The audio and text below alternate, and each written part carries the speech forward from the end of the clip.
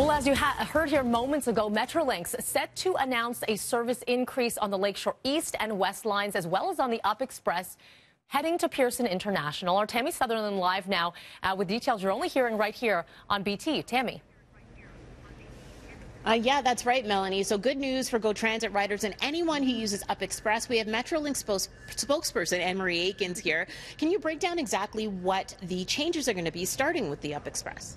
Well, we listened to customers for the Up Express because uh, the trains are pretty full now, and what they were saying was we need some a little bit earlier so we can get those early morning seven o'clock flights. So, uh, so we have we've introduced a, a 4:55 a.m.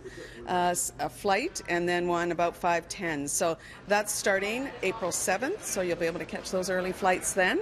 Um, so I'm sure that'll be good news for uh, Up Express customers. But for Go, on the Lakeshore line, which are our two busiest lines, Lakeshore East and West, they pretty much haven't gotten new service since we gave them 30 minute service, and now we're uh, introducing a few more.